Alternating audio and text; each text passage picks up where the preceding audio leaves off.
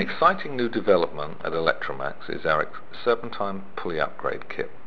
We've developed this kit for most, actually all Yanmar engines over 14 horsepower. This simply entails the replacement of the existing water pump pulley, the new multi-groove water pump pulley bolts right into the existing threaded holes where the last one was at.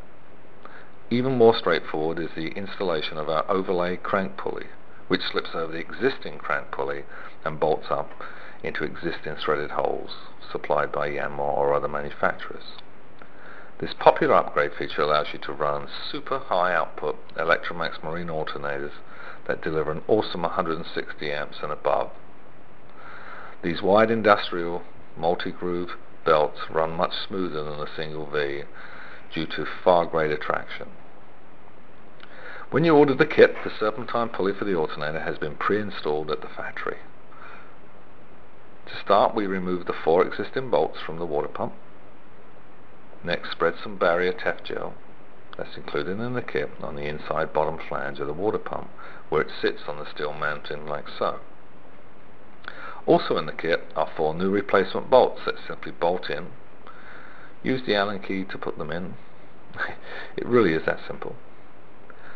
Now let's install the serpentine crank pulley that slips over the existing crank.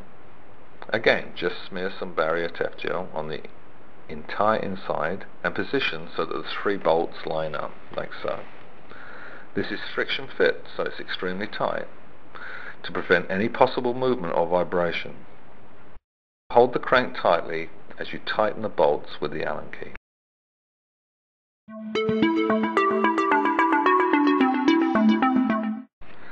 Prior to tightening the bolt on the tensioning arm, simply slip the serpentine belt on all three pulleys the deflection on the belt is C 16 So once you have the alternator snug, go ahead and fully tighten the bolt on the tensioning arm. A very simple procedure. Now the cover can go back in place using the original four bolts.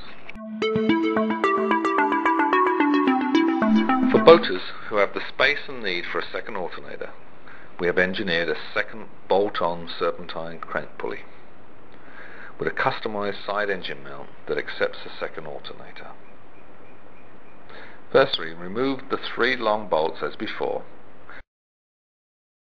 Position the second pulley in place. Line up the holes and simply install the three longer bolts provided in the kit. Again, it's a very, very snug fit.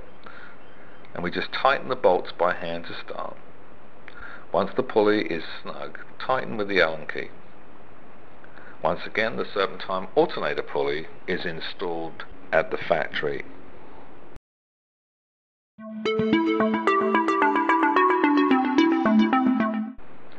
The next step is to install the mounting bracket in two specific threaded holes located on the side of the engine.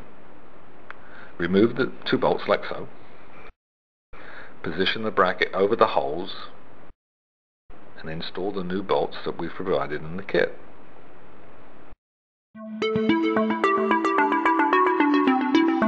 The second alternator simply slips over the 3.5 inch spacer that is incorporated in the bracket. We adjust the spacer in the rear foot to ensure a very tight fit. Simply push the bolt provided through the alternator foot and bracket spacer, attach the nut, and now just hand tighten. In the spare hole at the bottom of the engine we bolt on the adjustment arm that comes in the kit.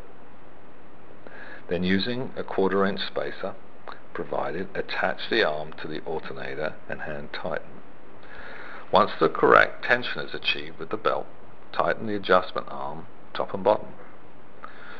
If you are installing any alternator over 120 amps, we strongly recommend installing a multi-stage exterior regulator that regulates the energy output in small increments to prevent engine drag.